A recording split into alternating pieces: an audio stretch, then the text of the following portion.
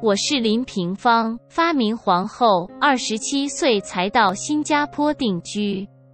很多年前，我的厕所天花板很多蚊子，好像天上的星星啊！每天都有蚊子帮我们打针抽血，不是捐血，是我们不愿意的。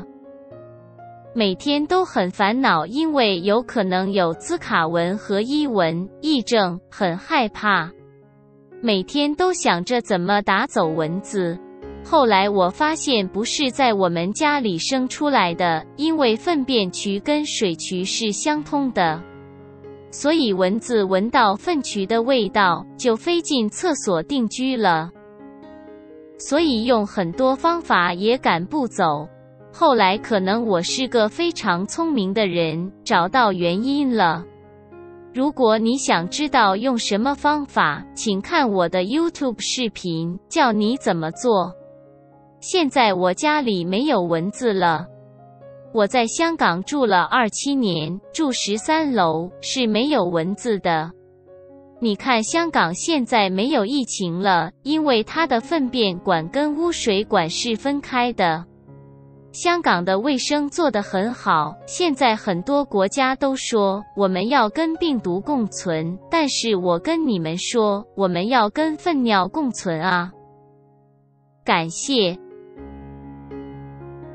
I am Lam Ping Fong, Inventions Queen, settled in Singapore at the age of 27. Many years ago, there were many mosquitoes on the ceiling of my toilet, like stars in the sky.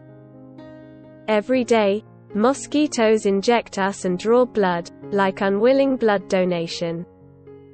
I worry every day because there may be Zika and Aedes mosquitoes. Plus epidemic has made me more afraid. Every day I think about how to get rid of the mosquitoes.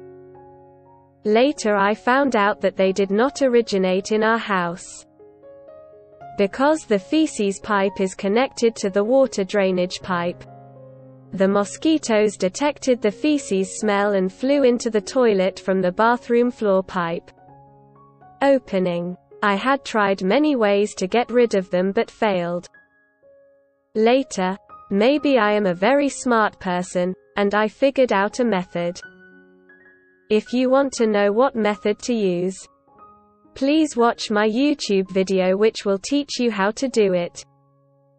There are no mosquitoes in my house now.